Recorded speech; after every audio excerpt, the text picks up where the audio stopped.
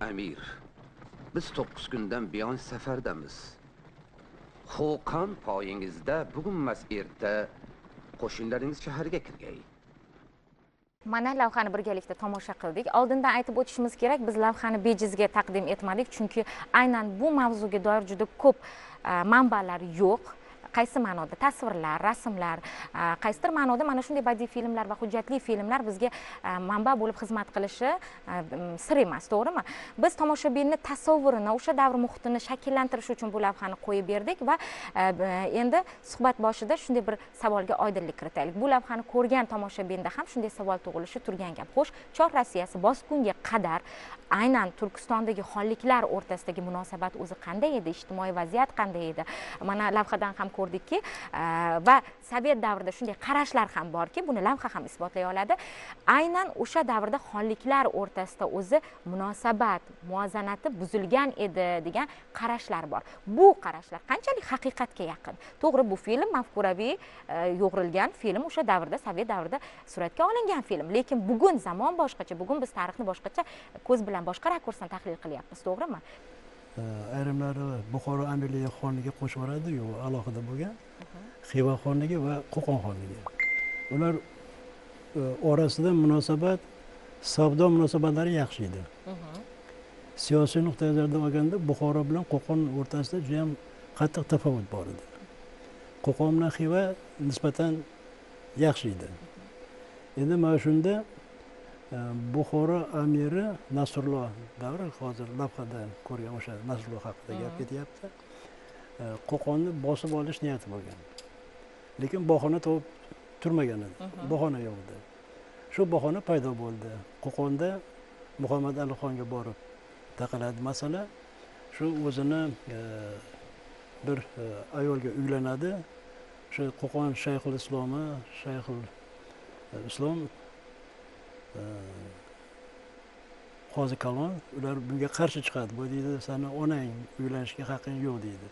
Vaholanki umarxon bilan u ayolni o'rtasida nikoh o'qilmagan. Nikoh o'qilmagandan keyin e, u ona hisoblanmaydi. Va e, umuman tekkan qo'lni ham tegizgani yo'q. Endi umarxon o'lib qoldi qiz qoldi. Shu katta bo'lgan nihoyatda go'zal bo'ladi shunga muhammad ali sevib qoladi. Xullas e, haligi shayxul islom bilan qozi kalonlar qarshilik qilgandan keyin boshqa e, ulamolardan so'rab keyin haligi gapni eshitadi shu bilan keyin uylanadi. Bular qo'rqib buxoroga qochib shu e, amir nasrulloni shu qo'qonda din buzilyapti. E, Muhammad ali o'z onasiga uylandi deb aytadi. Endi u xat yozadi shunaqa xullas oqibatda yurish bo'ladi. Bir necha oldin yarashadi yana bo'ladi. Keyin qo'qon xonligini to'liq bosib oladi. Qo'qon shahrini bosib olib muhammad alixon sulton mahmud u vaqtda muhammad ali taxtdan voz kechgan edi. Sulton mahmud o'tirgan bir ikki haftadan e, bir ikki oydan ko'proq o'tirgan edi. Ular qochadi. Keyin nasrullo aytadiki agarda menga uch kunda ichida muhammad alixon bilan sulton mahmudni ushlab olib kelmaslaring qo'qonlar hammasini qilichdan o'tkazaman deydi bu muhammad alixonga yetib boradi. Qochaylik tezroq bir ayg'oqlari tovib keladi deganda yo'q deydi. Man agarda ketsam fuqarolar qatl etiladi. Man qanaqa xon bo'laman aholi bo'lmasa fuqarolar bo'lmasa deb mani e, qo'l oyog'imni bog'lab olib boringlar deydi. E, keyin nasrulloga olib borishadi.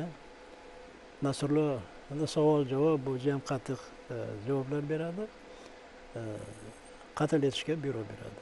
Muhammad alixon sulton mahmud ikkovini ham qatl etishadi. Keyin e, nodira begimni ham qatl etishadi. Endi bunda gapirsam ancha vaqt ketadi. Mana shu eng katta asosiy sabab deya olamizmi? Mana shu jarayonni yoki boshqa omillar ham bormidi? bu sabab emas bu bahona. Mm. asosiy sababi shu qo'qon xonligi buxorodan ajralib chiqib xonlik bo'lgan o'shani yana o'ziga qaytarib olish. Bu asosiy maqsadi strategik maqsadi qolganlarni fikrini ham eshitsak marhamat. Al- albatta siz dilfuzaxon boshida yaxshi bir masalani qo'ydingiz. Ya'ni rossiya imperiyasini bosqini arafasida bu turkiston xonliklarini ya'ni o'zbek xonliklarini o'zaro bir biri bilan munosabatlari qanday edi? Haqiqatan birlasha ya'ni birlasha olmaganmi yoki olmaganmi? birlashganmi? Albatta bu masala bu sovet tarixshunosligida go'yoki turkiston xonliklari o'zaro bular bir biri bilan dushman edi bir biri bilan birlasha olmagan degan e, fikrlar e, vujudga kelgan shu shakllangan shu. Hmm, shakllangan. E, lekin o'zi aslida mana hozir domla ham to'g'ri fikrlarni ilgari surdilar. Bu yerda bitta masala bor. O'zi ya'ni Qo- qo'qon xonligi minglar sulolasi dastlab bu ashtarxoniylardan ajralib chiqqan buxorodan ajralib chiqqan yangi sulola yangi tuzilma edi. Lekin e, buxoroda ashtarxoniylarni o'rniga mang'itlar hokimiyatga kelgandan keyin e, minglar bilan mang'itlar o'rtasida dastlab juda yaxshi ittifoqchilik yaxshi munosabatlar shakllandi. Jumladan buxoroda Mu- muhammad rahimbiy bilan qo'qonda erdonaxon o'rtasida juda yaxshi munosabatlar shakllandi hattoki bular e, o'zaro birlashib bu paytda buxoroga yoki qo'qonga bo'ysunmagan hududlarni birlashtirishga harakat qildi. Demak bu yerda bir ittifoqchilik bor. Hatto bu e, amir e, haydar davrida ham umarxon o'rtasida aslan munosabatlar yaxshi edi. Lekin ikkalasi ham turkistonda bir alohida bir yetakchi liderga aylangandan keyin amir haydar ham o'zini so'zini aytishga harakat qildi umarxon ham ya'ni bu yerda turkistonda go'yoki e, ustunlikni qo'lga olishga intilish vujudga keldi deb aytishimiz mumkin. Lekin umarxon vafot etgandan keyin aynan e, muhammad alixon taxtga o'tirganda amir haydar tabriklab qutlab sovg'alar bilan elchilar yubordi. Bu degani e, o'sha qo'qon buxoro munosabatlarini 19 asrni boshida ham yomon emas edi. Lekin orada muhammad alixon taxtga o'tirgan o'tirish vaqtida qo'qon taxti uchun e, muxolifat kuchlar paydo bo'ldi. Bu o'rinda e, aynan muntahabu tavorix asarini muallifi hakimxon to'rani e, otasi ma'sumxon to'ra shayxul islom edi e, va e, onasi umarxonni e, opasi edi. Bular o'rtasida umarxonni opasi endi mana ikkita akam e, taxtda o'tirdi. Endi bundan buyog'iga taxtga meni ham haqqim bor meni ham da'vogarlik qilishim hmm. mumkin kerak deb o'zini chinni to'ra degan o'g'lini taxtga o'tirgizmoqchi bo'ldi. Bu o'rinda chiqqan e, taxt uchun ixtilof natijasida e, birinchi muhammad alixon dastlab ma'sumxon to'rani shayxul islomni qo'qon xonligi hududidan chiqarib yubordi. Uni orqasidan o'zi bilan birgalikda saroyda katta bo'lgan voyaga yetgan hakimxon to'rani ikki yil davomida to'raqo'rg'onda hokimlikka tayinlab ikki yildan so'ng uni ham qo'qon hududidan chiqarib yuborgandan so'ng va undan keyin va o'ttizinchi o'ttiz beshinchi bir ming sakkiz yuz o'ttiz o'ttiz beshinchi yillarni orasigacha ayrim qo'qondagi amaldorlar yoki diniy ulamolar qo'qondan e, muhammad ali xonni siyosatidan qaysidir bir jihatlar bilan buxoroga ketishga majbur bo'lgandan keyin u yerda buxoroda qo'qonga qarshi muhammad alixonga qarshi muxolifat u yerda shakllandi. Shakllangan muxolifat buxoroda birlashdi. Hmm. muxolifat shakllanishiga sabab nima bo'ldi? Mana dastlab yaxshi munosabat bo'lgan ekanda. Dastlab man aytdimku shaklanishiga asosiy sabab birinchisi bu e, taxt uchun kurashda e, shakllangan muxolifat. Ular bu buxoroda birlashdi. Hmm. Endi bu e, bu bitta jihat masalani bitta jihati ikkinchi jihati bor bu e, qo'ng'irotlar sulolasi. Ya'ni e, turkistondagi uchinchi xonlik. Bu xiva xonligi xorazm xonligi. Bular bilan qo'qonni munosabati qanday edi? Albatta bir ming sakkiz yuz yigirmanchi yigirma birinchi yillardagi voqelikka biz e'tibor qaratadigan bo'lsak bu vaqtda umuman qo'ng'irotlar sulolasi bilan minglar ya'ni qo'qon xonligi bilan xorazm o'rtasida harbiy ittifoqchilik ham tuzildi. Mirzo qalandar mushrif isfaragiyni e, shohnomai nusratpoyam asarini dastlabki kirish qismida boshidagi e, boshida aynan mana shu e, qo'qon xiva munosabatlariga oid ya'ni diplomatik munosabatlariga oid bo'lgan voqelik yoziladi. Va bunda aynan mana shu qo'qon bilan xiva xonligi o'rtasidagi harbiy ittifoqchilikka oid bo'lgan ma'lumotlar keltiriladi. Bu nimadan dalolat beradi? Demak turkiston xonliklari hukmdorlari bu vaqtda o'zi vujudga kelayotgan tashqi xavfga qarshi birlashish g'oyasi paydo bo'lgan. Yana bitta jihatni man aytib o'tsamda undan keyin e, qolgan ustozlarimizga hamkasblarimizga man f- so'zimni davom ettirishni taklif qilmoqchiman. E, bu o'rinda bir ming sakkiz yuz yigirmanchi yilda birinchi umarxon dastlab usmoniylar imperiyasi bilan usmoniylar davlati bilan diplomatik munosabatlarni yo'lga qo'ygan va mana shu diplomatik munosabatlarida bugungi kunda usmonlar arxivida saqlanadigan bitta hujjatda bu diplomatik aloqalarni e, diplomatik missiyani maqsadlari ko'rsatilgan. Ya'ni o'sha umarxonni o'zini xatidan biz bilishimiz mumkinki e, o'sha rossiya imperiyasini e, xonlikni shimoliy chegaralarida sarhadlarida harbiy qal'a qurishlikni boshlaganligi. Demak bu yaxshilik alomati emasligini umarxon bir ming sakkiz yuz yigirmanchi yilni o'zidayoq tushunib bo'lgan anglab yetgan. Mana shuni asnosida u umarxonni elchisi e, mirqurbon xo'ja mirqurbon afandi hamadonlik saidlaridan bo'lgan qo'qon xonligida bir yaxshi bir diniy ulamolardan birisi bo'lgan.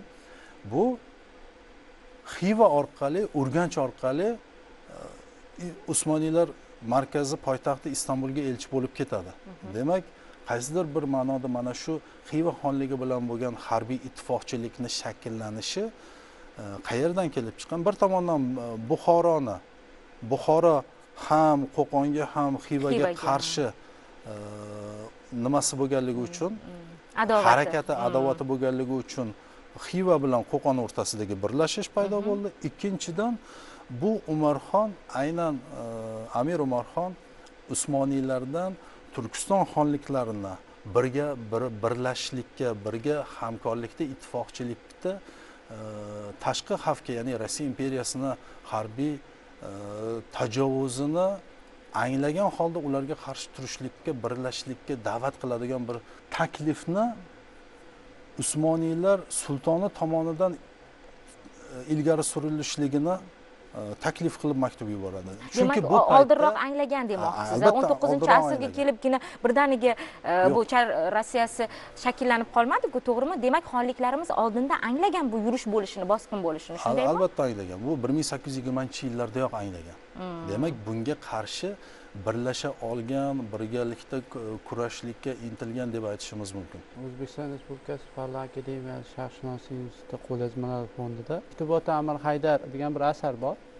Jami yigirma ikkita maktubni birlashtirgan mana shu qo'lyozmada e, qo'qon xoni umarxonga yozgan maktubi bor amir haydarni yoki bo'lmasa eron shohiga yoki bo'lmasa usmoniylar imperiyasiga shuningdek rossiya imperiyasi imperatoriga va albatta afg'onistondagi bir necha amirlarga xatlar yozilgan.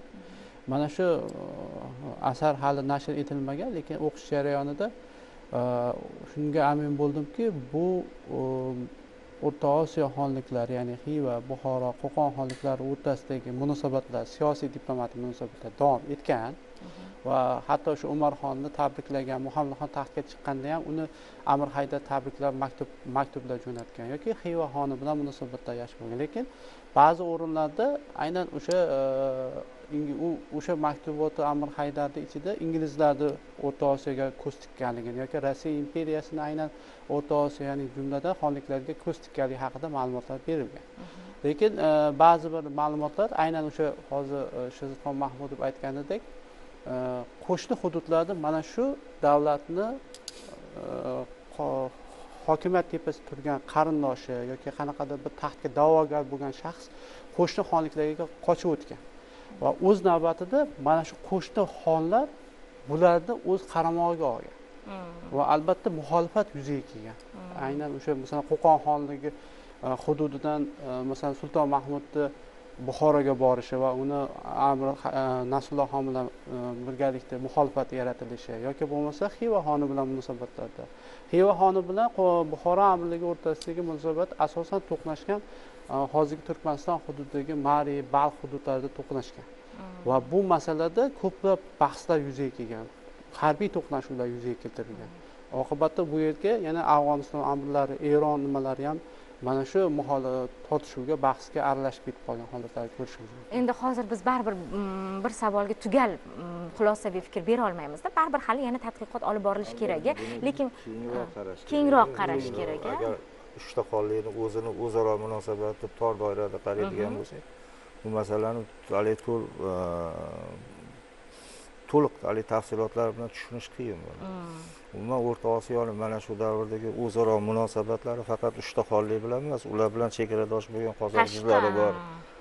Yana o'sha paytda ancha ta'sir o'tkazgan qalmoqlar jung'onlarni Mm. bosqin davrida anchagina ta'sir o'tkazgan. Mm, eng yana qizig'i bularni o'sha o'zaro munosabatlari vaqtida qalmoqlar bilan rossiya imperiyasi ittifoqdosh bo'lgan. Mm, yani bularni yoki shunaqa xonliklarni o'zaro munosabatlarini kelgan elchiliklar va ularga bo'lgan munosabatlarda ham ko'rish mumkin. Masalan karim elchiligi yoki mulkurod stodlar bilan kannolilarni kelishi turli tomonlardan kelishi va o'sha paytda e, qozog'iston hududlarida bo'layotgan milliy ozodlik harakatlar rossiya imperiyasini bosib olish jarayoni boshlangan bu paytda. Va ana shu bosib olinayotgan milliy ozodlik harakatlari doirasida elchilarga bo'lgan munosabatlar. Agar qo'qonga kelayotgan xivaga kelayotgan bo'lsa ularni kuzatib qo'yish yoki buxoro amirligi aksincha ana shunga o'xshagan juda ko'p e, tafsilotlar bor. Lekin bu e, masalalar bugungi kunda e, tadqiqotlarga aniq bir muammo sifatida jalb qilinmaganda shuning uchun e, shu manbalarda alohida alohida holatlar bilan yo'q alohida shunaqa bir holatlar bilan e, tasavvur paydo bo'lgan. Masalan e, deylik bir ming sakkiz yuz oltmishinchi oltmish birinchi yillarda mana amir nasrulloh vafotidan keyin shahrisabz bekligi yana mustaqilligini tiklashga harakat qiladi. Va buxoro amiri muzaffar yurish qilgan paytda shahrisabz begini iltimosi bilan qarang shahrisabz begini iltimosi bilan mallaxon ilonotni darasigacha yurish qilib boradi. Mm, ya'ni o'sha e, yurishdan chalg'itish va ular maqsadiga erishadi. Mhm, mhm. yoki undan sal avvalroq e, xo'jand boshqa joylar e, buxoro amiri yurish qilgan paytda qo'qon xonlarini iltimosi bilan olloquli xon buxoro amirligiga yurish. Shunga o'xshagan bir qancha holatlar bor yoki o'zaro bularni birlashish jarayoni aniq ko'rinadigan bir yaqqol ko'rinadigan ifodalangan joyi mallaxon davrida bir ming sakkiz yuz oltmish ikkinchi yil kuzida uchta xonlikni birlashtirish bu bo'yicha muzokaralar o'tkazadi. Va bir ming sakkiz yuz oltmish uchinchi yilni bahoriga e, bir ming sakkiz yuz oltmish uchinchi yil oltmish ikkinchi yil bahoriga chiqqan paytda e, ya'ni muzlar erib daryo yo'llar ochilgan paytda ruslarga qarshi uchta xonlikni birlashgan e, qo'shinlarni jangga olib kirishga kelishadi. Lekin mana shu birlashuv o'sha bir ming sakkiz yuz oltmish ikkinchi yil fevral oyida yigirma uchinchi fevralda mallaxonni o'ldirish bilan oxiriga yetmay qoladi. Biz mallaxon davriga va shaxsiyatiga alohida to'xtalamiz hozir e, savol berdingiz. Ruslar bosib olgunga qadar bo'lgan voqealar. Mhm, mana shunda angliyani o'rnini ham aytish kerak. Mhm, chunki angliyadan rossiya shu o'rta osiyoga hujum qilishni bilishardi. Mhm, shuning uchun ikkita emissarni jo'natadi. Kanoli bilan stoddartni mhm. ular birin ketin keladi birdaniga mhm. emas. E, qo'qon xon ularni qo'ygan maqsadi uchta xonlikni birlashtirish. Ya'ni buxoro amirligi xiva qo'qon xonligini birlashtirish agar birlasholmasa hech bo'lmasam harbiy bitim tuzish. Uchta Mhm, davlat. Mhm, shuni aytganda muhammad ali xon davrida bu mhm.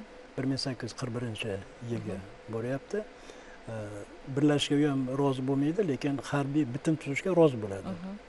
Keyin e, emissar angliya emissari xivaga boradi. Xiva xoni ham rozi bo'ladi harbiy bitim tuzishga rossiyaga qarshi gap ketyapti. Keyin buxoro amiriga boradi buxoro amiri aytadi nimaga man sizlarga ishonishim kerak. Sizga ishonishim kerak. Sizlar musulmon islom diniga o'tinglar keyin gaplaringni quloq solay deydi Mhm. Endi albatta u emissarlar bunga rozi bo'lmaydi. Mhm, E, keyin ikkovini ham birin ketin zindonga tashlaydi. Mhm. mana mana shu yerda agarda uchta xonlik hech bo'lmasam harbiy bitim tuzganda bir ming sakkiz yuz qirq birinchi yil to'g'risida ketyapti. Mhm. hali buxoro qo'qonni bosa olmasdan oldin mhm, E, judayam katta kuch bo'lardi rossiya bunga harakat qilmasdi keyin o'shalarni o'ldirgandan keyin haligi man aytgandek Mhm. bo'ldi buxoro amiri kelib qirdi endi mana shuni qirib nima qilganda ham ko'p sarkardalar halok bo'ldi buni alohida mavzu aslida. Demak biz e, hozir e, faqatgina ko'p baho berganimizda tan olishimiz kerak. Tomoshabinlarda ham shunday bir fikr borki sovetcha qarash bu birlashmagan degan lekin birlashgan degan joylari ham bor ekan. Mana birlashmagan joylari ham bor ekanda. Biz xolis baho berishimiz kerak bugun. Va birlashmagan joylari mana filmlarda ham tasvirlarda ham yoki manbalarda ham bor. Bu faqatgina sovetcha qarash degan bir qolipga solib qo'yishimiz kerak emas ekan. To'g'rimi? Yana bir jihat mana yaxshi bir jihatni o'rtaga tashladingizda tashqi aloqalar tashqi hududdagilar bilan munosabatlar. Umuman mana shu e, jarayonlar qanday kechgan? Bu tashqi e, dunyoda bo'layotgan xabardorlikdan qanchalik bizni xonliklarimiz xabardor edi? Bu borada harbiy yurishlar yoki harbiy salohiyati ham yuqori edimi? Qay darajada bo'lgan degan savolga ham oydinlik kiritaylik. Sherzodxon aka marhamat. Albatta u tashqi birinchidan o'zi tashqi aloqalarni o'zi e, hukmdorlarni salohiyati yoki bo'lmasa umuman tashqi dunyodan ma'lumot olish. ma'lumot olish darajasi qanday edi degan savolga biz to'xtaladigan bo'lsak. Birinchidan e, biz kengroq bu masalani ko'rishimiz kerak. Faqatgina informatorlar orqali emas. Hmm. albatta xonlikni har bitta xonlikni qo'qonni ham buxoroni ham e, xorazmni ham o'zini maxfiy? turli hududlardan o'sha ma- Hmm, maxfiy ma'lumotlarni jarayonlarni yetkazdirib beradigan um, xizmatchilari bo'lgan. Bundan tashqari umuman uh, uchala xonlikni uh, ham o'zaro savdo aloqalari ham uh, tashqi savdo aloqalari orqali hukmdorlar bir qancha ma'lumotlarni olgan. Bundan tashqari yana bitta jihat bor. Qo'qon xonligi umuman turkistondan hijozga boradigan haj uchta haj yo'li bor. Bittasi usmoniylar davlati orqali bittasi eron orqali uchinchisi hindiston orqali. Mana shu hindiston orqali usmoniylar orqali e, boriladigan yoki Er- eron orqali yo'llardan e, hajga borib kelgan hojilar orqali ham juda ko'p ma'lumotlar e, uchala xonlikning hukmdorlariga yetkazilgan. E, bu ikkinchi ma'lumot olish masalasi. Bundan tashqari aynan qo'qon xonligida ham yoki buxoro Xo- xorazmda ham xivada ham qo'qon xonligi haqida gapiraylik qo'qon xon- xonligi haqida so'z yuritilayotganligi bois qo'qon xonligida ham e, hindistondan afg'onistondan e, kelib bu yerda turli masalalarda faoliyat ko'rsatayotgan yo sarkardalar yoki e, tabiblar tibbiyot yo'nalishida faoliyat ko'rsatayotgan shaxslar bo'lgan. Ana shular orqali o'sha vaqtni o'zida dunyoda tashqi dunyoda umuman dunyo mamlakatlarida bo'layotgan voqealardan e, ma'lum bir ma'noda hukmdorlar xabardor bo'lgan. Shuning uchun ham e, qo'qon xonlari o'zlarini harbiy salohiyatini e, siyosiy munosabatlarini yo'lga qo'yish maqsadida hindiston bilan afg'oniston bilan hindiston orqali britaniya hukumati bilan yoki bo'lmasa usmoniylar davlati bilan diplomatik aloqalarni elchilik aloqalarini amalga oshirib turgan. Demak buni bu elchilik munosabatlarida faqatgina siyosiy jarayonlarni muhokama qilishgina emas. Albatta o'sha hozir siz qo'ygan savol bor bu yerda. Harbiy salohiyatini Oshirish oshirishga qaratilgan harakatlar bo'lgan edi. E, bu yerda hamkasblarimiz ustozlarimiz hammalari yaxshi biladi. Chunki qo'qon xonligi bo'yicha mutaxassis olimlarimiz jumladan man aytadigan bo'lsam umuman umarxon davridan keyin muhammad alixon ikki marta usmoniylar davlatiga elchi yuborgan bo'lsa bu elchilikni orqasida hammasida harbiy salohiyatini yuksaltirishga qaratilgan harbiy e, qo'shinni taktik jihatidan tayyorlash masalalari ko'rilgan. Yoki bo'lmasa aynan o'sha bir davrni o'zida hindistonga ham elchilar yuborilgan. Yoki bu- bir ming sakkiz yuz o'ttiz oltinchi yilda undan keyin bir ming sakkiz yuz ellik to'rtinchi yilda bir ming sakkiz yuz oltmish ikkinchi yillarda hindistonga yuborilgan elchilar ular hammasi o'sha e, qo'qon xonligini harbiy masalasini e, qaysidir bir bosqichga ko'tarishga harakat qilishga qaratilgan undovlar intilishlar hisoblanadi. Jumladan aytishimiz mumkin masalan qo'qon e, sarkardalarini ichida harbiy sipohlarini ichida jomador hindistoniy degan e, sarkardani faoliyat ko'rsatgani. E, yoki bo'lmasa yana boshqa afg'onlardan e, harbiy sipohlar sarkardalar faoliyat ko'rsatganligiga oid bo'lgan ma'lumotlar bor.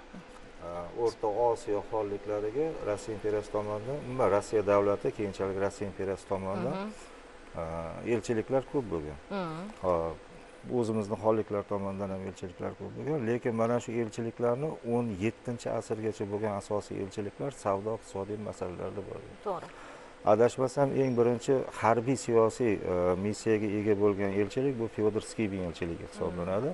Chunki xuddi shu paytda hali pyotr bir imperator bo'lgani yo'q. U e, rossiya podshosi pyotr alekseyevich hali shu paytda narishkinga maxsus buyruq beradiki bu bilan shunaqa nima deymiz sisnoy отдел deyiladi haligi tergov boshqarmasiga o'xshagan maxsus bir qo'mita tashkil qiladi va har qanaqa holatda savdo bilanmi yoki o'sha paytda bilasizlar urushib asirga tushib qolgan sotib yuborilgan boshqaga ana shunga o'xshagan har xil sabablar bilan o'rta osiyoda bo'lgan har qanday odam birinchi o'rinda mana shu byuroga olib kelinib u bilan tergov ya'ni savol javob qilinardi va o'sha bor ma'lumotlar hammasi olingandan keyin keyin yana uni e, qo'yib yuboriladi. Ana shunaqa e, holatda ya'ni bu paytda o'rta osiyo haqida e, rossiya hukumatida e, unaqa bir mukammal ma'lumotlar tasavvurlar ham bo'lmagan hatto. Ana shu ehtiyojdan kelib chiqib boyagi ma'lumotlarni yig'ish aynan bir ming bir ming olti yuz to'qson to'rtinchi yil bir ming olti yuz to'qson to'rt to'qson oltinchi yillardan maxsus boshlangan bu narsani yig'ish. Angliya bilan rossiya o'rtasida raqobatchilik e, angliya rossiyaga qarshi. Shular e, qo'qon xonligini shu to'g'risida gapiradigan bo'lsak e, harbiy tomondan mustahkamlashga harakat qildi. O'zini emissarlarini jo'natdi o'zini injenerlarini anglichalar lekin ular anglichan sifatida emas afg'on deb unaqa qilish uchun ular tilni bilishgan hindistondan kelishadi. Shu qo'qonda pushkalar bunaqa qilish qal'alarni e, yaxshilashga ular yordam bergan maslahatchi sifatida. E, endi qo'qon xonligida mana keyingi e, davrda ham e, aytishadi shu angliyani ayg'oqchilari bo'lgan ularni odamlari kelgan boshqalar. Bu narsani ham biz esdan chiqarmasligimiz kerak. Lekin eng asosan qo'qon xonligi to'g'risida gap ketadigan bo'lsa shu e, qo'qonni eng keng maydon bo'lgan davri bu muhammad alixon davri. E, o'shani olishimiz kerak. Keyin mana shu e, rossiya bosib olishi harakat bir ming sakkiz yuz qirq ellik ikkinchi yildan boshlandi. O'sha perovskiy oqmachga hujum qiladi. Unda mag'lubiyatga uchraydi. Keyin bir ming sakkiz yuz ellik uchinchi yili o'sha oq machni bosib oladi. Endi bunga sabab e, shu qo'qon xonligini ichki siyosati. Mana bular jiyam aytishdi kurash qattiq bo'lgan haqiqatda. Shunday bo'ldiki bir ming sakkiz yuz ellik uchinchi yil bahorda qipchaqlar qirg'ini bo'ldi. A, qo'qon xonligida eng kuchli sarkardalar qipchaqlardan bo'lgan. O'sha qipchaqlar qirg'ini davrida eng kuchli sarkardalar ham halok bo'ldi. Agar rossiya ellik ikkinchi yili mag'lubiyatga uchragan bo'lsa o'sha oq machitda sarkarda ham halok bo'ldi kuchlilar qolmadi o'shanda rossiya bem- bemalol demaydi osongina oq machitni bosib oladi. Keyin uni fort perovskiy aylantirib eng o'zlarini kuchli e, qal'asiga aylantirishadi. Buni ham biz esdan chiqarmasligimiz kerak. So'zlarimiz aytib o'tdi hindiston bilan e, rossiya bilan aloqalar yoki usmoniyda aloqalar haqida lekin yana bitta narsa bitta davlatni hisobga olish kerak bu xitoy.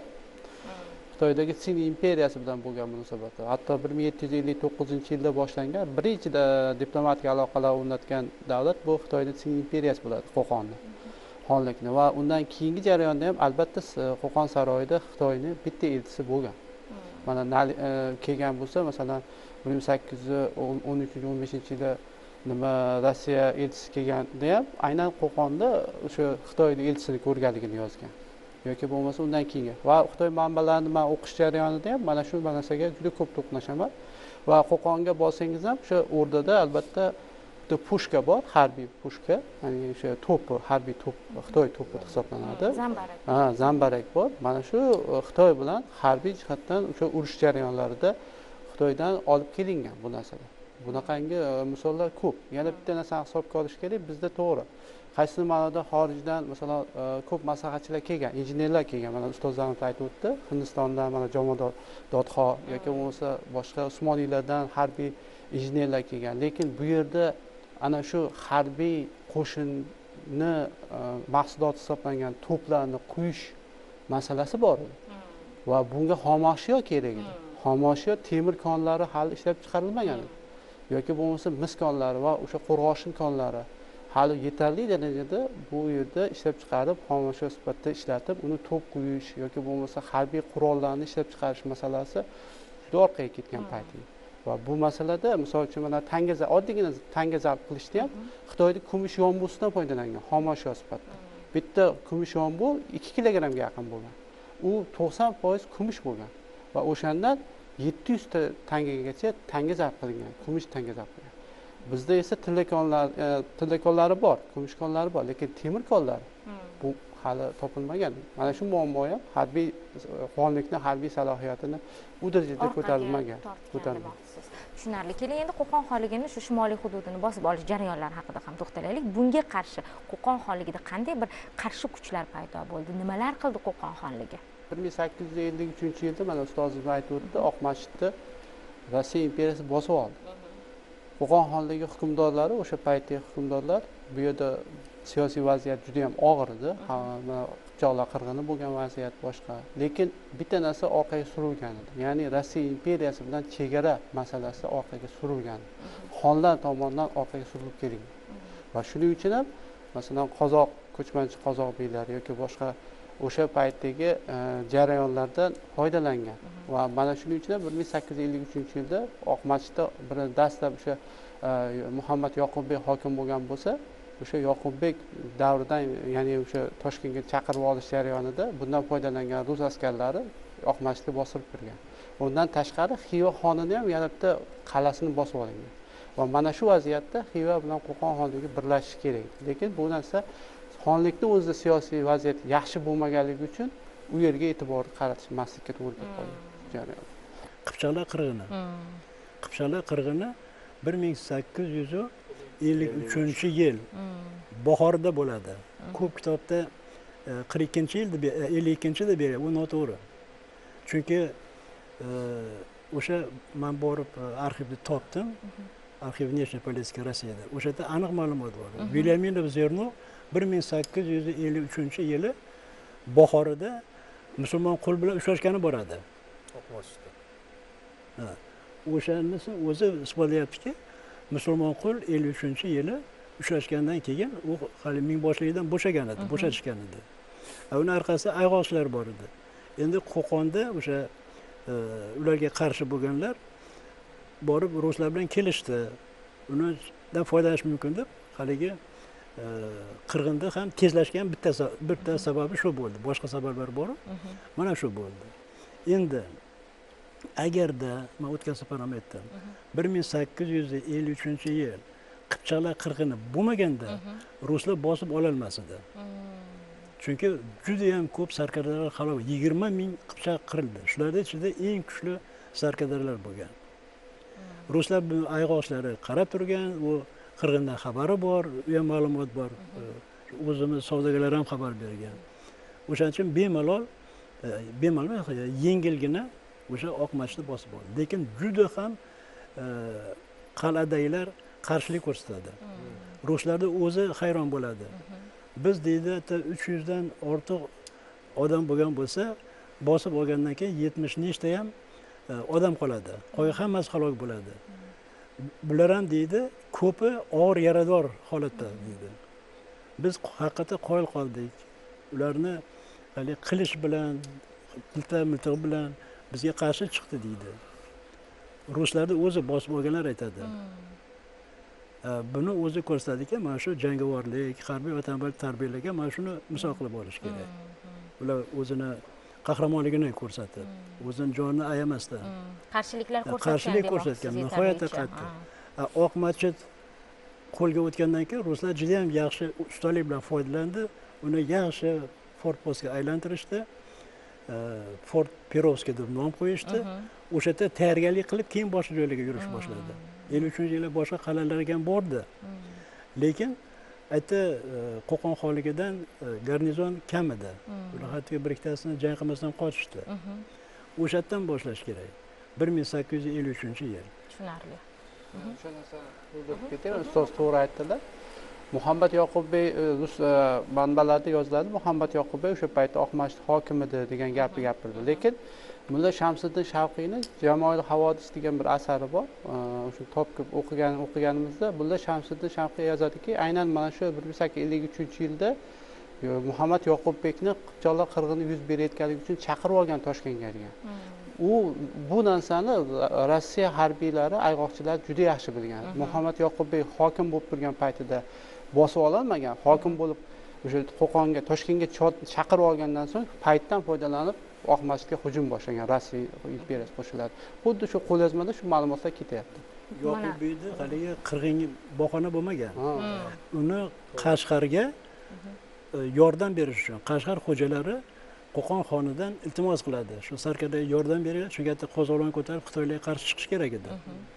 Shuning uchun sarkarda sifatida yoqubbekni chaqirib qashqarga jo'natishdi. Keyin ustalik bilan hokimiyat tepasi chiqib xon bo'lib oldi. Oltmish to'rtda. 1864 oltmish to'rtda u. qipchoqlarga bog'liq emas bu narsa. Ellik uchinchi yilda u hokim bo'lganda oq masjidni hokimi yoqubbekni oltmish to'rt bir ming sakkiz yuz oltmiz to'rtinchi yilda chaqirib olib e, qashqarga yuborishadi. E, to'g'ri hozir mana e, haydarbek aka domla ham aytib o'tdilar bir ming sakkiz yuz ellik uchinchi yilda oq masjid bosib olingandan keyin. bosib olinishligi oson bo'lmagan chunki u oq masjid qal'asidagi e, o'sha bizni nimalarimiz e, qo'qon askarlari sipohlari qarshilik qattiq qarshilik ko'rsatgan domla buni aytdilar. Lekin yana bir birinchi nimada bosib ololmagan birinchi yurishida. Urushi bo'lmaganda bosib ololmasdi deb biz tugal fikr ayta olamizmi? Baribir juda uzoq yillar tayyorgarlik katta ketgan edi-ku to'g'rimi? ruslar tomonidan. bosib ololmasdi. Ellik uchinchi yil bosib ololmasdi. Man bunga undan keyin foiz kafil edim aynan bu yil bosib lekin ololmasdi ha, lekin baribir bosib olardi. Chunki u asosan maqsad qilgan. Maqsad bor edi maqsad bor edi demoqchiman bir ming sakkiz yuz ellik uchinchi yil haligi qrim urushi e, turkiya bilan rossiya mag'lubiyatga uchradi. Obro'ga tushib ketdi.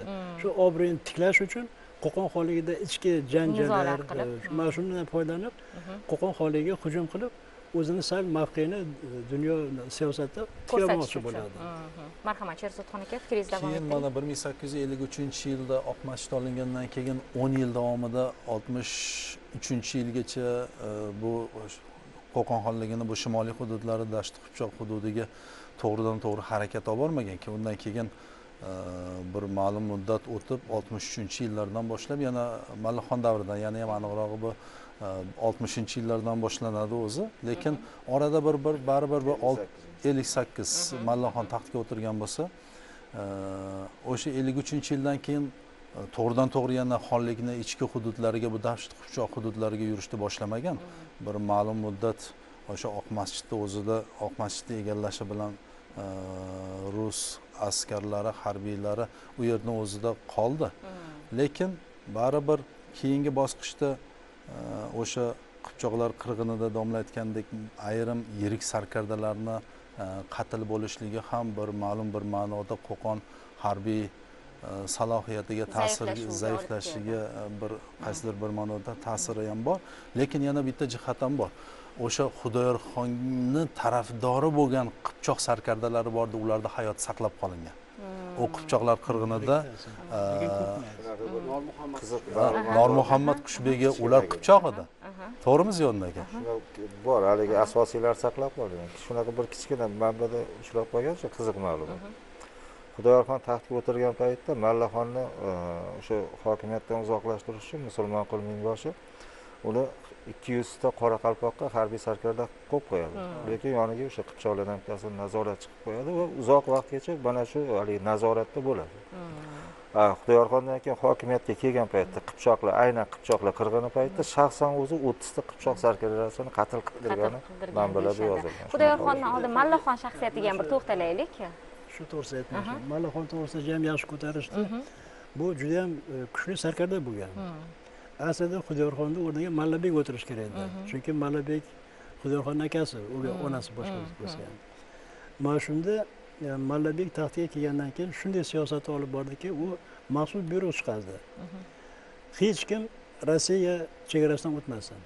Agar kim agar chegarani buzadigan bo'lsa hattoki qatl etish haqida ham nima qildi. Sabab? Sabab u tushundi. Rossiya bilan hazillanish mumkin emas aksincha qo'qon xonlik o'zini harbiy salohiyatini mustahkamlab unga qarshi e, himoya qilish. Bosib olishni e, mallixon o'ylamagan.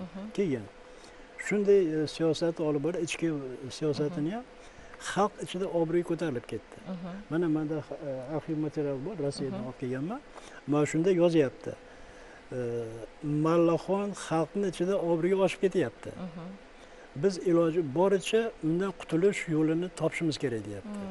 A, bundan oldin o'sha haligi rossiya imperiyasi imperatoriga bir dokladnoy yozishadi. Qo'qon xonligini bosib olishni davom etish to'g'risida. Xuddi o'sha yillar bo'lyapti. O'sha Ru- rus imperatori yozadiki e, vaziyatga qarab turib ish ko'ring. e, ish ko'ringlar. Deb o'shaning uchun mallaxonni haqiqatda alohida o'rganish kerak. Haligi mallaxon hujumga qarshi bosqinga qarshi qanday bir qarshiliklar qildi? Nimalar qildi bu borada jam davlatda? Qandaydir qarorlar chiqardi? Albatta birinchidan mallaxonda e, mana domla aytganlaridek shijoat bor edi haqiqatdan mallaxonda kuchli shijoati bor edi ya'ni o'zi umuman bir ming sakkiz yuz ellik sakkizinchi yilgacha bo'lgan voqeliklarni ko'rib ya'ni xonlikni o'sha markaziy boshqaruvda xudoyorxonni atrofidagi yoki bo'lmasa xudoyorxonni e, qiliqlarini harakatlarini ko'rib mallaxonni juda jahli ko'p chiqardi. Bunga hatto bir voqea ham e, nimada yoziladi manbalarda yoziladi asarlarda. Bir kuni e, o'sha qo'qon o'rdada saroyda salomxonada to'planib turgan paytida mallaxon xudoyorxon o'tiribdi hukmdor o'tiribdi. Lekin e, ayrim sarkardalarga qarshi mirzo ahmad qushbegiga nisbatan mallaxon qilichini hinidan chiqarib xonni o'sha noto'g'ri yo'llarga boshlayotganligi haqida jahli chiqib ularda e, ularga e, E'tiroz bildirib. e'tiroz bildiradi. Atrofdagi amaldorlar mallaxonni to'xtatib qoladi nimadan bu? Ya'ni o'sha vaqtni o'zida mallaxon e, boshqaruv tizimida noto'g'ri harakatlar bo'layotganligini ko'rib bunga chidolmaydi. Demak shundan bilamiz o'sha mallaxonni o'zini bir tomondan e, shimol tomonidan rossiya imperiyasi bosqini e, yuzaga kelayotgan vaqtida u o'sha xonlikdagi yoki bo'lmasa xonlikni markaziy boshqaruv tizimida aynan hukmdorni ayrim faoliyatlaridan xudoyorxonni faoliyatlaridan norozi kayfiyatda bo'ladi. Ya'ni boshqaruvda boshqaruvni tartibga keltirishlikni xohlaydi. Demak shundan bilamiz mallaxonda qaysidir bir ma'noda unda salohiyat bo'lgan Shijoat bo'lgan. bo'lgan dushmanga qarshi choralar ko'rishlik harakati bo'lgan. Man bir narsani aytaman mana e, boshqa ko'rsatuvlarda ham buni aytganman. Hatto e, mallaxonni o'zi o'zi qisqa vaqt ho- hokimiyatda hukmdorlik qildi. To- atigi to'rt yilgina. Lekin mana shu to'rt yillik faoliyatini ichida u ham mallaxonni o'zi ham qo'qon harbiy e, salohiyatini qo'qon harbiy tuzilmasini yana bir yangi bosqichga o't- ko'tarishga harakat qildi. Tarixi jahonnama asarida yo muhammadiy mustoyib asarlarida ushbu ko'p ma'lumotlar keltirilgan umuman siyosatga kirib qo'qon xonligini siyosiy jarayonlariga ta'siri o'sha e, akasini taxtga o'tirishi bilan boshlangan bo'lsa e, mana shu taxtga o'tirgungacha o'tirgungacha ya'ni bir ming sakkiz yuz ellik sakkizinchi yilgacha xudoyorxonga qarshi ikki marta isyon ko'targan qurolli isyon. O'sha birinchisida elliginchi yillarda mag'lubiyatga uchrab buxoroga chekingan bo'lsa ikkinchisida bir ming sakkiz yuz ellik sakkizinchi yil e, toshkent bekligini o'sha qo'qon xonligini shimoliy hududlaridagi e, isyon qo'zg'olonlari avj olganligidan keyin e, bu e, endi bu paytda qo'qon xonligini qaytib kelgan bir paytlar marg'ilon hokimi ham bo'lgan. Hop, va e, qo'zg'olonni bostirish uchun jo'natilgan paytda e, mana shu joyda qo'zg'olonni bostirish bilan birga xudoyorxonga qarshi ikkinchi o'sha asosiy kurashiga tayyorgarlik ko'rdi va asosiy qo'qon xonligini o'sha mirzo ahmad qushbegi yoki o'sha paytda aliquli eshik og'asi yoki boshqalar bilan birgalikda xudoyorxonga qarshi kurash e'lon qilib bir ming sakkiz yuz ellik sakkizinchi yilda taxtni tortib oladi va xudoyorxon e, bu paytda o'sha taxtdan kechib buxoroga chekinishga majbur bo'ladi. Ana shu taxtga kelish jarayoni taxtga hokimiyatga kelish jarayoni o'zimizni mahalliy tarixchilar tomonidan ham e, juda bir e'tibor bilan yozilgan ko'p ma'lumotlar. E, va o'sha paytda qo'qon xonligida bo'layotgan o'sha siyosiy jarayonlarni diqqat bilan kuzatib turgan rus e, harakatdagi armiyasi yoki boshqa o'sha maxsus odamlar tomonidan ham e, juda sinchkovlik bilan e, o'rganib turilgan chunki bu ma'lumotlar shundan darak beradi. Yoki o'sha ayrim manbalarda yozilishicha mallaxon hokimiyat tepasiga kelgandan keyin o'ta shafqatsiz haligi qonun tartiblar joriy qildi. Ya'ni shariatda nima talab qilingan bo'lsa shariatdan hech qanaqa chiqishga ruxsat yo'q.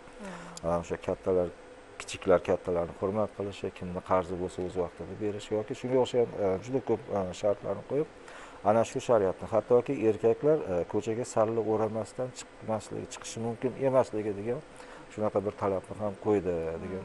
Ya'ni hokimiyatga kelgandan keyin bu o'sha bergan o'zi mualliflarni o'zini yondashuvi lekin bu o'sha paytda mallaxon hokimiyatga kelgandan keyin juda qattiqqo'l siyosatni amalga oshirganligini ko'rsatadi nima uchun? Chunki mana shu davrgacha qo'qon xonligidagi asosiy siyosiy jarayonlarni shu keskinlashib turishiga ta'sir ko'rsatayotgan qirg'izlar va qipchoqlarni hokimiyatga o'sha intilishi ta'sirini yo'q qilish uchun qaratilgan siyosat. Aslida shu qo'qon xonlarini yana domlalar fikr bildirishadi. Qo'qon xonlarini mallaxongacha mallaxon va mallaxondan keyingi davrlarni qaraydigan bo'lsak oxirgi shu o'z qo'lida butun hokimiyatni ushlab turgan mallaxon ya'ni hokimiyat jilovi undan keyingi mana bir nechta xonlar kelgani bilan ular hokimiyatni ular boshqarmadi. Ularni atrofidagi asosan ularga ta'sir o'tkazib turgan siyosiy kuchlar tomonidan boshqarildi. ana shu narsa qo'qon xonligida ichki siyosiy siyosiy ziddiyatlarni keyingi o'sha yigirmanchi o'n to'qqizinchi asrni oltmishinchi yetmishinchi yillarda o'ta keskinlashishiga olib kelib oxiri xonlikni tugatishiga ham ta'sir ko'rsatdi. Mana shunday vaziyatli ziddiyatli vaziyatda jilovni ushlab turish ham oson emasda. Mallaxon kimlarga suyandi bu borada? Ana o'sha paytda boya nima sherzodxon ham aytib o'tdilar hozir asosiy o'sha qirg'iz qipchoq sarkardalarni saqlab qoldi hayotini ko'pchiligini. Va ularni o'sha manbalarda qarasangiz o'zbek ham tojik ham qirg'iz ham qipchoq ham hammasiga amal berdi hammasini o'sha mansablarga qo'ydi boshqa ayrim manbalarda teskarisini yozadi yozishadi lekin o'sha paytda o'sha hokimiyatdagi umumiy holatni barqarorlikni tiklash xonlikni rossiya imperiyasiga qarshi qudratini oshirish maqsadida ancha ishlarni qiladi. Chunki mallaxondan keyin ham mallaxongacha ham bu ishlarni bironta xonda ko'rmaymiz. Endi to'g'ri olimxon paytida juda kuchli harbiy islohotlar o'tkazildi umarxon davrida boshlandi lekin madalixon davrida juda ko'p haligi harbiy qal'alar qurildi. Qo'qon xonligini chegara hududlari mustahkamlandi. Lekin mallaxon davrida zamonaviy o'sha paytdagi qurol yarog'lar ayniqsa zambaraklar portlaydigan snaryadlar bu paytgacha bo'lmagan o'rta osiyo xonliklarida zamonaviy vintovkalar ishlab chiqarish qo'qonda hamda toshkentdagi ustaxonalarda va boyagi o'sha aytilgan jomador dodxoh ham shu paytda o'sha afg'onistondan ingliz mutaxassislari sifatida taklif qilingan va birinchi bo'lib mana shu odam boshchiligida mutaxassis zambarakchi ana shu boshchiligida qo'qon xonligida zamonaviy o'q otadigan snaryad ya'ni zamonaviy snaryad portlaydigan snaryad otadigan zambaraklar yasalgan hattoki o'sha toshkentdagi miltiq ya'ni ustaxonada besh mingtagacha zamonaviy vintovka ishlab chiqarilgani haqida shaxsan cherneyevni harbiy vazirga yozgan ma'lumotida ham bor yoki o'sha bu harbiy sohasi bo'lsa ikkinchidan piyoda askarlar artilleriya qo'shinlari otliq askarlar bularni o'zaro mutanosiblikda jang vaqtida harakatlanish taktikalarini ham ishlab chiqiladi. Maxsus yo'riqnomalar tuziladi bu paytda bu haqda manbalarda ma'lumot berilgan. Va keyingi o'sha ayrim nimalarda ham ko'rishimiz mumkin. Masalan qo'qon xonligidagi qo'shinni kiygan kiyimidan qarab farqlanadigan holat. Ya'ni forma deb aytsak ulargacha hatto shu eng mayda nimalargacha bu paytda harbiy islohotlar o'tkaziladi. Va bu narsa o'zini nimasini ko'rsatadi? Natijasini beradi. ko'rsatadi. Masalan o'sha bir ming sakkiz yuz oltmish beshinchi to'qqizinchi mayda toshkent mudofaasi bo'lib turgan paytda toshkentliklar tomonidan ya'ni o'sha mudofaachilar tomonidan otilgan snaryadlar portlagani va sakkiz yuz sajin bu degani bir yarim ikki kilometrga yaqin masofadan toshkentlik zambarakchilar o'ta mohirona o'q otayotganligi haqida imperatorga yozgan maktubida chernev keltirib o'tdi.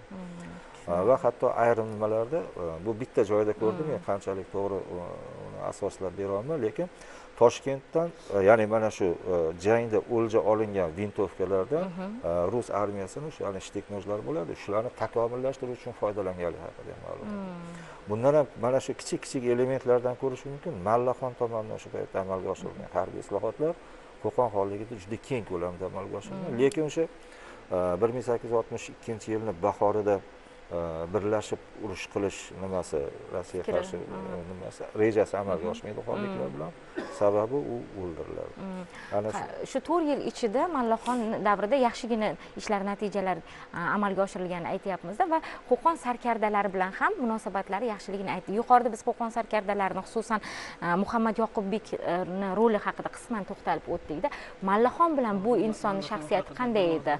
Munosabatlari qanday o'sha edi taxtga kelishdan oldin muhammad mallaxon mallaxon taxtga kelishdan oldin u o'sha davrdagi vaziyatni juda ham yaxshi bilgan ichida bo'lgan vaziyat chunki ichki vaziyat tashqi vaziyatni ham yaxshi bilgan mana misol uchun o'sha taxtga kelmasdan arafasida toshkent atrofida qazoqlar qo'zg'olon ko'taradi soliq bo'yicha xon toshkent qo'shinbegisi rozi bo'lmaydi qayta ularga qarshi askar jo'natadi endi shuni tinchish uchun mallaxonni xudoyorxon mallaxonni yuboradi. Qazo bilan qazolar bilan uchrashib haligi soliqlarni ikki marta kamaytiradi. Ikki marta kamaytirganda o'z o'zidan qo'zg'olon to'xtaydi obro'yi ko'tarilib ketadi. Shunaqa qilib keyin qaytadi ob- obro'y bilan. Keyin mana shu qazoqlar e, mallaxonni taxtga kelganda juda ham qo'llab quvvatlashadi adolatli keyin mana man hali ham aytdim o'sha e, ruslar bilan bo'lgan munosabatda keyin ruslar ko'rib turib iloji boricha bundan tezroq tezroq qutulish qutulish kerak. Bu rasmiy unaqasida yozilgan. Manda bor u nusxasi. Keyin shundan keyin suiqasd uyushtirilib mallaxon kechasi chopib yo'q qilishdi. Albatta bu yerda ruslarni o'sha ayg'oqchilarni qo'li bor chunki ular shu gap aytgandan keyin bir yil ham o'tmasdan mallaxon o'ldiriladi. Mallaxon o'ldirilgan tushunarli. Suhbatimizni mana shu qizg'in nuqtasida e, to'xtatishga majburman chunki bizga ajratilgan vaqt o'z nihoyasiga yetib borayotganini soat millari ko'rsatyapti. Shunday ekan biz keyingi ko'rsatuvimizda albatta mana shu e, nuqtada suhbatimizni yana davom ettiramiz va tomoshabinlarga e, keyingi davr haqida ya'ni hozirgi suhbatimizdan keyingi davr haqida yana kimlar taxtga o'tirdi aynan rossiya imperiyasi qo'qon xonligini bosib olinishida kimlar aybdor bo'ldi qaysi xatolar yo'l qo'yildi degan savollarga sizlar bilan yana birgalikda oydinlik kiritamiz. Hozircha esa shu e, suhbatimizni qizg'in nuqtasida yakun yasaymiz. Qadrli muxlislar bizni kuzatishda davom eting. Bu tarix tilga kirganda dasturi edi. Keyingi ko'rsatuvlarimizga qadar